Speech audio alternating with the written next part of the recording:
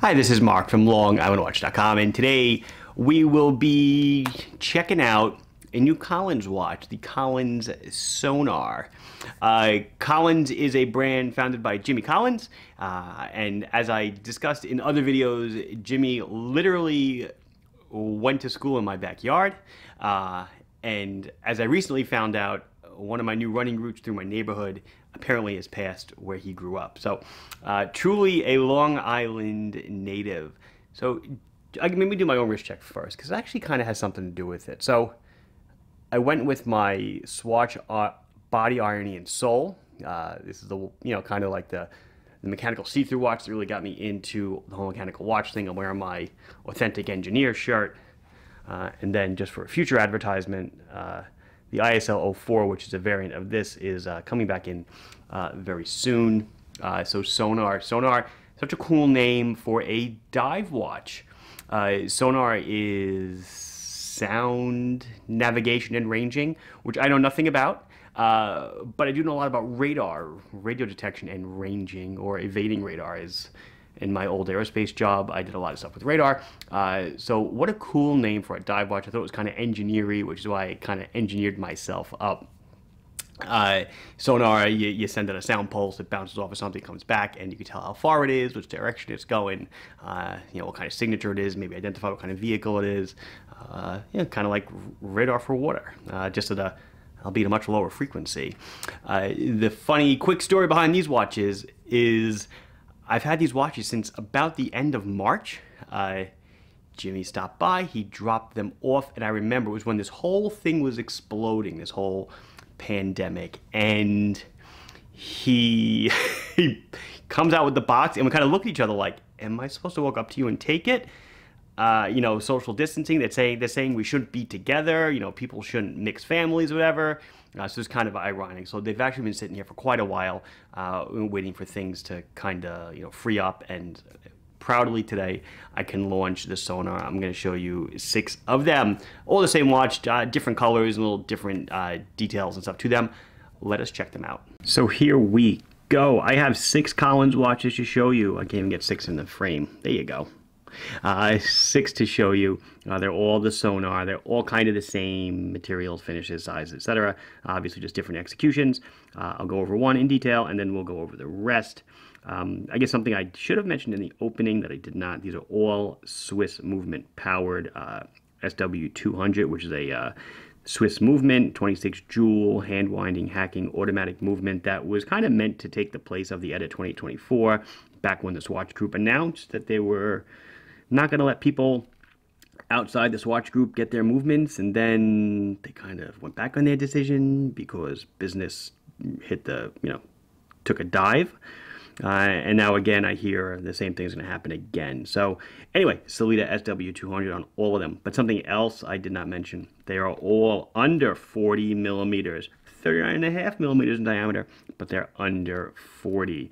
Which one should I pick up? Um, maybe the blue one? I don't know. I guess we'll do the blue one. Uh, and not because I love blue. I do. I oh yeah, it's because I love blue. So let's um let's get on with the show. So this is the blue dial. Collins Sonar. It's a beautiful blue. It's very deep, not sunburst. It is a matte. They're all, I'm pretty sure, right? They're all matte dials. So I'm not going to throw uh, sunburst lighting on you. I will bump up the exposure just a tiny bit. And if it looks like the fill on the numbers is blue, I'm pretty sure that's because it is. I'm, I was looking at them side by side, you know, here, clearly. The fill on the numbers on the aluminum bezel is blue. That's awesome. I've never really seen anybody do that. I think it's a pretty cool touch. Okay, so let's go. 39 and a half millimeters in diameter.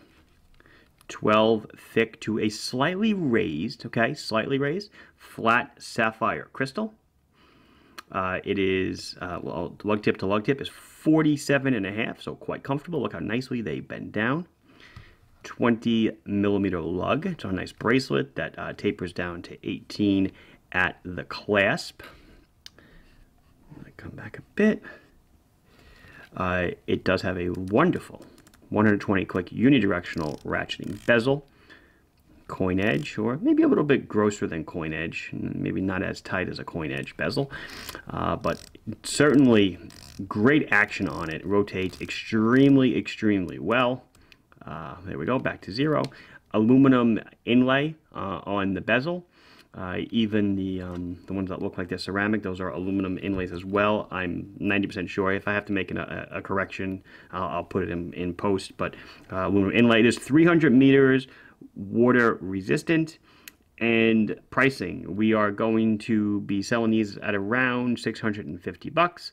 Uh, which for a Swiss made, a Swiss made, Swiss movement watch that is ready, assembled, tuned, and tested in the USA. I think it's right on target for price. You will notice there is no date on the dial.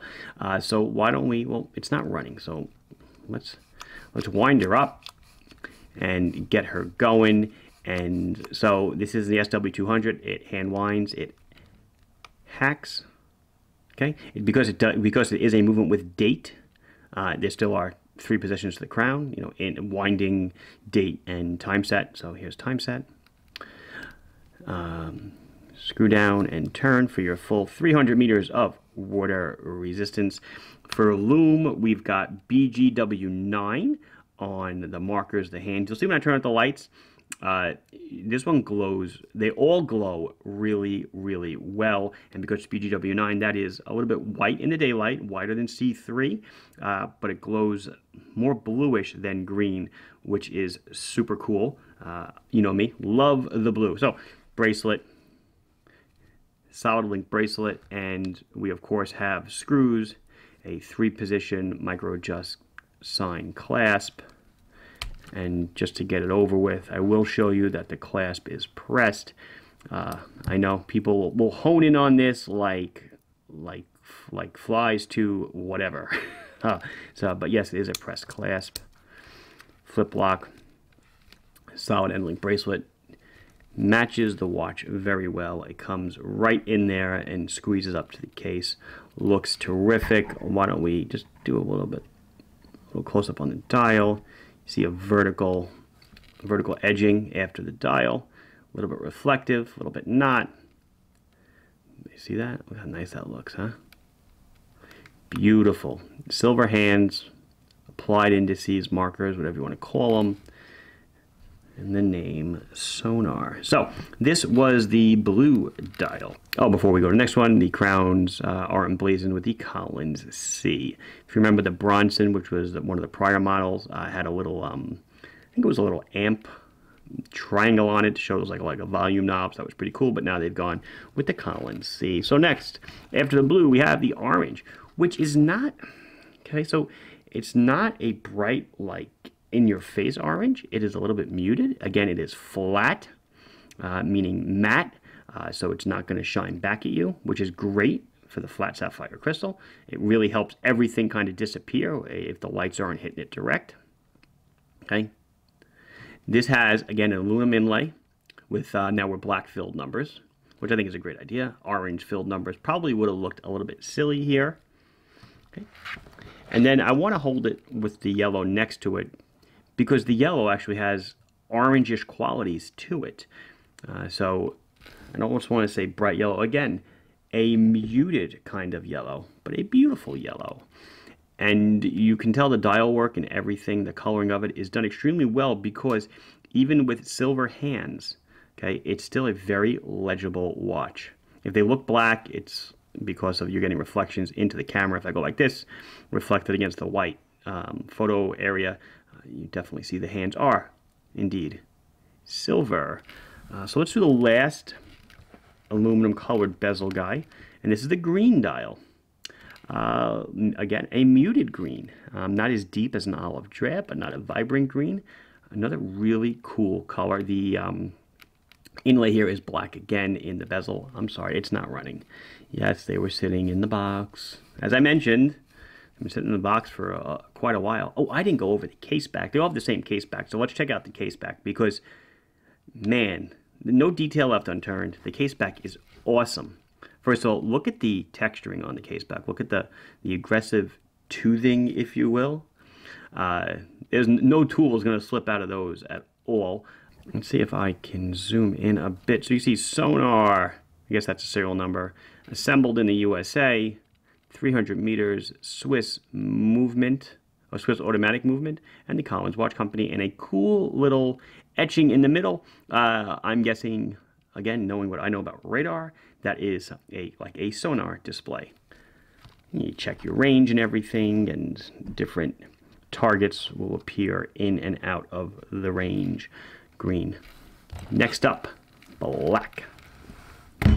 So now we go to um, again still silver silver hands. Um, very legible though on the black dial. It's a, a, big complaint with me on a lot of watches is that sil- oh, it's not running. I'm sorry. Again, they've all been sitting. Uh, silver usually blends in with black dials or reflections kind of kill it and, and, and they disappear. Uh, I would say here, let me get that crown in. I would say that here uh, they did an excellent job and it looks great. So it's a black dial, a black uh, aluminum inlay bezel. Um, I can't believe I didn't mention this. So the Sellita SW200 is regulated uh, in six positions. It's pretty impressive. So there's real watchmaking going on here. It's not just a stock Sellita slapped into a case and, and, and off to the races. No, we are having them regulated by watchmakers. We, not not Island Watch, we Collins. Uh, no, I am not invested in the company. Uh, regulated to six positions before they ship out the watch. So bravo to them for going uh, the extra mile. And then probably the knockout, the sellout not sell, sell, it's a bad term, right? The knockout would be the white dial. Um, is it fully loomed? I don't know. We'll have to wait till we turn the lights out. No, I actually already checked, so you'll see in a minute uh, what she looks like when the lights go out. Uh, so what I'm going to do then for, for nighttime, light time, we'll just take these two and we'll put them together because uh, the black and, oh, you know what, let me, just so, I guess we'll do three, so I lied. We'll do three together because that will help us look at the bezel stuff and we can see what's loomed and what's not loomed. Okay, so let's start with, this is the orange dial, which will be the same as your um, blue, green, orange, and yellow dials, all the same. Uh, BGW9, very green, glows very well. Um, did I say very green? It's very blue. I'm sorry, it's BGW9, glows blue. Dot on the rotating bezel. Great, second hand running. Everything looks terrific, very simple to read. Triangle on 12, so I know where 12 o'clock is. Next one up, black dial. So the rotating bezel is filled with lume, again BGW9. The rest of it's the same, very simple and easy to read. So now that white dial. So uh, like the full lume Islander commercial, uh, Jimmy has gone negative on the hands. Uh, what a great idea, Jimmy. Uh, we did not talk about this at all, so it's kind of really cool that he did the same thing that I did. Uh, lume bezel and negative hands, and the dial fully glows. Again, BGW9. So um, look at that. See where the where the minute hand was right here. Isn't that cool? Because there's a shadow now because of the light when I charged it. Anyway, um, BGW9 does not glow as bright as C3 again, but still, man, that is simple to read. So I will roll out with a wristy. 39 and a half millimeters, obviously going to be very, gonna fit very well. We're looking at 47 and a half millimeters on the lug tip to lug tip.